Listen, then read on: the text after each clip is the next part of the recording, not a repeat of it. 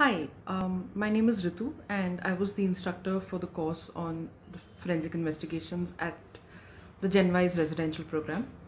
Um, I had a fantastic time at the program. I learned a lot, I laughed a lot, and I hope that all of the students felt the same way as well.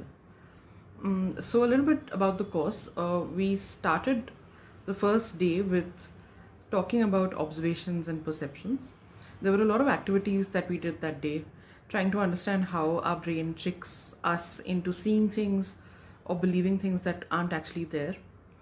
Uh, one of the most frustrating activities of the day was the box activity, where students had to figure out who their partner was based on just hearing, feeling, doing experiments with boxes that were covered in duct tape. They couldn't open it up. And the objective of that was to help everyone understand that we can't actually see the crime that's been committed. We have to rely on other evidences. We also talked about perceptions and um, how we may see things that are not actually there based on what our expectations are. Uh, then we moved on to a case where Mr. Zellman had been poisoned by one of his friends, and students figured out that we can use fingerprint evidence to find out who touched the glass and probably poisoned Mr. Zellman. Uh, we figured out what major patterns are in fingerprints, what the minor patterns are, and based on all of this, um, we managed to find out that one of the suspects' fingerprints matched a fingerprint on the glass that was uh, used for the poison.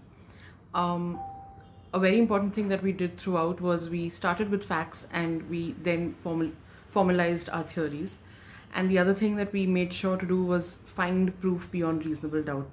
Uh, without proof beyond reasonable doubt, we weren't really sure of whether uh, someone was guilty or not, or at least could be accused or not.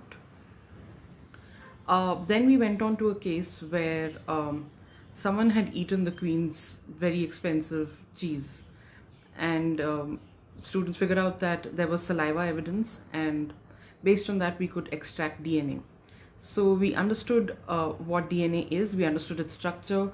We figured that if we could study DNA, we'd be able to identify whose DNA was left behind. And we extracted our own DNA from our cheek cells and found out that DNA is actually really hard to see. Um, so we can't really see DNA and examine it.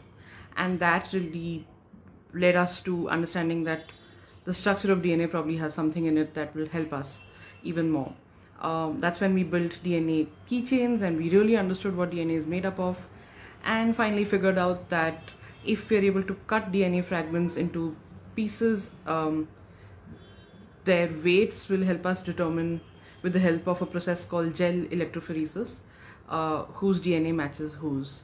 In the middle of all of this, we also solved a mini case where babies in a hospital were mixed up and they had to we had to match them to their parents based on DNA evidence we finally did solve the uh, case of who ate the queen's cheese. And uh, it turned out that the maid had done that and students had all had figured it out all on their own. Uh, next we moved on to a pretty gory case which made students quite happy because they were quite disappointed with the lack of uh, murder and blood. Um, so in this case um, a woman had been murdered and we had to find out who did it. And we figured out that blood evidence can help us do that um, we understood the immune response of the body, we understood how the immune response is related to uh, identifying blood types, and based on that, we figured out who murdered the woman in the case.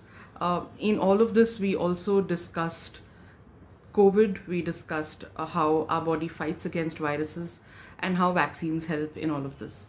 Um, finally, we went on to a real case that is the assassination of uh, JFK, who was the president of the US, and uh, students had to figure out, based on the injuries that we saw, um, how many bullets were fired. And that was a really, really uh, interesting discussion. Students really pushed themselves. I had a lot of fun and hopefully learned a lot about being perseverant, being patient, and following logic and fact.